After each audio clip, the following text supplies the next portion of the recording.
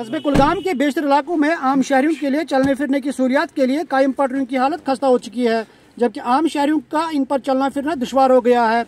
मुकामी लोगों ने हुकूमत से अपील की है कि पटरियों को जल्द अज जल्द काबिल आमद रफ्त बनाया जाए। घंटाघर से लारू बस स्टैंड तक दोनों तरफेन पटरियों की हालत खस्ता हो चुकी है।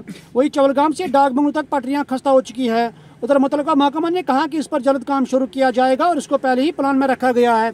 इस हवाले से कुलगाम न्यूज़ की खसूसी रिपोर्ट। ये बात तो ये अगर हम कहें तो this is a need of an hour that we should have an footpath on a good condition but unfortunately you can see they are in duplicated condition people are not in a position to walk upon them they use they prefer to walk upon the road that becomes very dangerous for them I should I I can say that district administration should take serious note of uh, that because this is the need of our people used to walk upon the roads instead of footpaths. इनका जो मसला है फुटपाथों का ये वार footing basis पे होनी चाहिए क्योंकि डिस्ट्रिक्ट एडमिनिस्ट्रेशन यहाँ सुबह से लोग बहुत ज़्यादा आते हैं जाते हैं। लेकिन हालात ऐसे हैं कि कंडीशनिंग की इतनी पाथ होल्स हो चुके हैं लोग प्रेफर कर रहे हैं वो सड़कों पे चलते हैं जिससे आम शहरी को भी नुकसान होता है।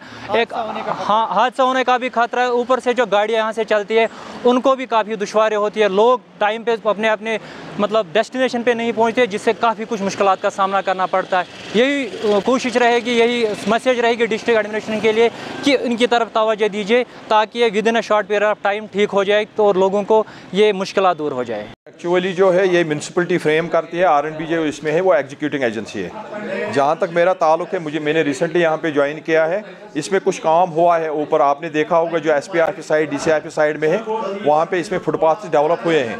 अब जो आप कह रहे थे कि जो घंटाघर से नीचे हैं, उसमें तो मैंने ईओ साहब से जो एग्जीक्यूटिव ऑफिसर म्यूनसिपलिटी के हैं, उनसे मैंने बात की है।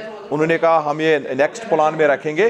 और इसका मुझे भी एक पता है कि जो टाउन का ब्यूटिफिकेशन का ये प्रोजेक्ट है, वो बनाने जा रहे हैं तो वो भी इन वो तैयार होगा।